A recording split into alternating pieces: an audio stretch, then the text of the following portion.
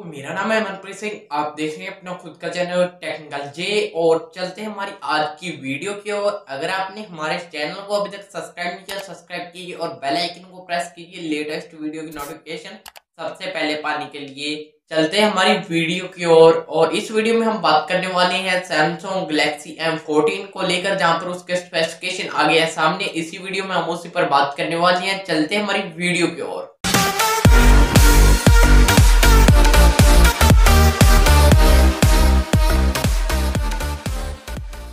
Samsung Galaxy M14 के specification आ गए हैं। सामने इसके बारे में हम बात कर लेते हैं तो इसमें आपको 6.3 इंच का full H D plus infinity U display देखने को मिलता है इसी फ़ोन में।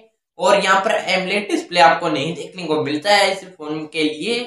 और ये फ़ोन आने वाला है छह जीबी रैम और एक सौ अठाईस जीबी वेरियंट के। भी वेरियंट वाला मोबाइल अभी तक इसका कोई और भी वेरिएंट आ सकता है? अभी यही सामने आया है, छह जीबी रैम और एक सौ अठाईस जीबी वेरियंट पहले लीक आए थे कि इसमें आपको पाँच हज़ार मिली एम्पायर की बैटरी देखने को मिल सकती है, पर अब कंफर्म हुआ है कि इसमें आपको तीन हज़ार पाँच सौ मिली एम्पायर की बैटरी देखने को मिलती है। यहाँ पर सैमसंग ने थोड़ा सा निराश कर दिया है और तीन हज़ार पाँच सौ मिली एम्पायर बैटरी देकर। और अगर इसके प्रोसेसर की बात कर लेते हैं तो यहाँ पर आपको बहुत ही बढ़िया प्रोसेसर दिया है सैमसंग ने स्नैपड्रैगन 675 का प्रोसेसर जो कि बहुत ही बढ़िया प्रोसेसर माना गया है। और बैटरी में कहीं थोड़ी बहुत कमी रख दी है सैमसंग के द्वारा। और इसमें आपको ट्रिपल कैमरा सेटअप देखने को मिलता है, जिसकी फ़ोटो आई सामने जो आप इसे स्क्रीन पर देख पा रहे हैं। आपको यहाँ पर आगे की पंच होल डिस्प्ले देखने को मिलता है।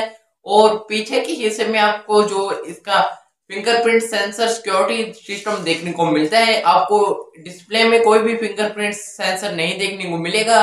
और ट्रिपल कैमरा सेटअप की बात कर लेते हैं तो आपको जो उसका प्राइमरी कैमरा है 32 मेगापिक्सल का वो कैमरा होने वाला है। और इसी के साथ आपको 8 मेगापिक्सल का अल्ट्रा वाइड एंगल देखने को मिल सकता है। और जो तीसरा कैमरा है, वो 5 मेगापिक्सल का डेप्थ सेंसिंग कैमरा मौजूद है इसी फ़ोन में।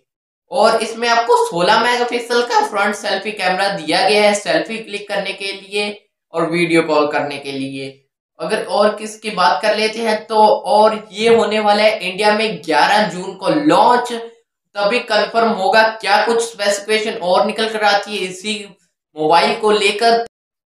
बाकी सब पता चलेगा 11 जून को क्या कुछ लाने वाला है सैमसंग गैलेक्सी एम फोर्टीन में मोबाइल में। और ये तो 11 जून को ही पता चलेगा। और ये थे कुछ अपडेट जो सैमसंग गैलेक्सी M14 को लेकर निकल कर आ रहे थे।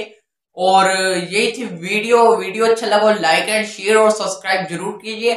और इस वीडियो में इतना ही। मुझे दी इजाज़त। जय हिंद। वंदे मातरम।